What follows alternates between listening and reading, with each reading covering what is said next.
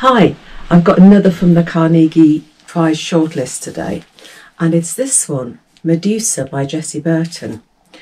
And it's an illustrated version of the story of Medusa.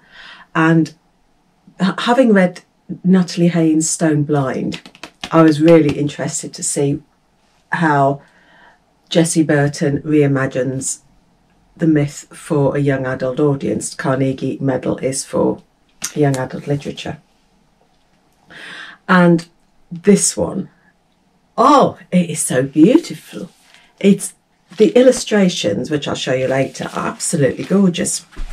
It's almost as a written as a coming of age, and we have 18-year-old Medusa um, living on her isolated island with her two Gorgon sisters, and they've been there four years. It's four years since Athene cursed her. And while her sisters have the power of flight and can disappear and hunt every day, Medusa is left on the island alone apart from her dog. And then one day a stranger arrives in his boat, a young man, and she is torn because she craves companionship, she's lonely. But then again, what will this person think of her appearance, this head of snakes? And Athene also gave her a warning Woe betide any man fool enough to look upon you, which she, at this point, she doesn't understand the meaning of. The stranger is Perseus, and we all know the myth. We all know the story of Medusa and Perseus. But in this one,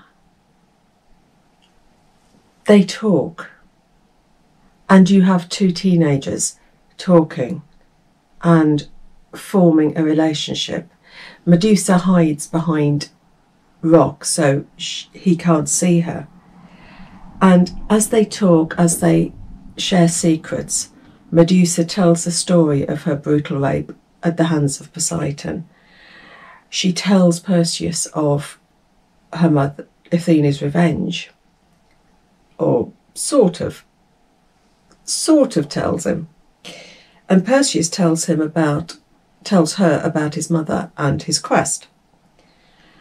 But they keep the secrets. He doesn't tell her the truth about her quest, his quest, and she doesn't tell him the truth about how Athena cursed her.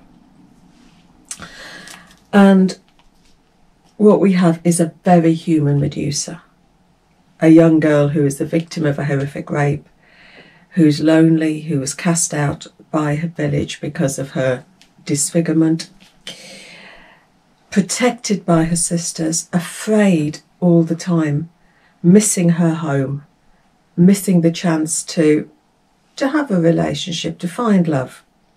And she goes through all sorts of emotions when she talks to Perseus hope, fear, anger, love. This is a super retelling, um, reimagining, because Medusa is allowed to tell her own story and to finally accept her true self. And it's this very sensitive Medusa that we read. It's not a monster.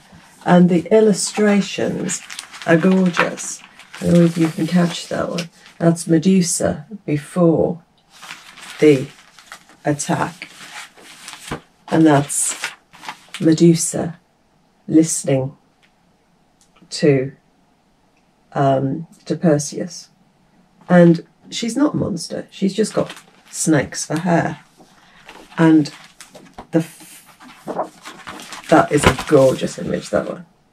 So a beautifully illustrated book, a beautiful retelling. So that is Medusa by Jessie Burton on the Carnegie Medal shortlist. So um, we'll see how it does because I thought this was fantastic. So happy reading. Take care.